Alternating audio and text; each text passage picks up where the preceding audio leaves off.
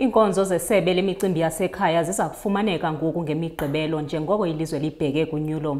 Isebe lithi iiofisi zalo ziza kuvulwa iiyure ezintlanu rhoqo ngemigqibelo ukusukela ngomso ukuya kutsho ngomhla wama-25 kuMeyi walo nyaka ukuze abemi bakwazi ukuncedakala ngeenkonzo ezifana nokufumana izazisi. Kodwa nangona kunjalo oku akubandakanyi holide zikawonke-wonke.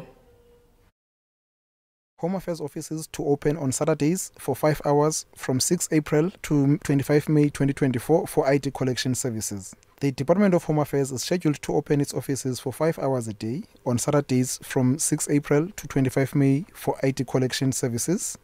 The offices will open from 8 o'clock in the morning up until 1 o'clock on each day for citizens to collect their IDs. In this period, the offices will open for seven Saturdays, with only the 27 April 2024 excluded. Mobile offices are also scheduled to return to deliver IDs in the remote areas where they took applications from. Local offices, working with stakeholders that include councillors, will communicate the dates, times, and venues of those visits.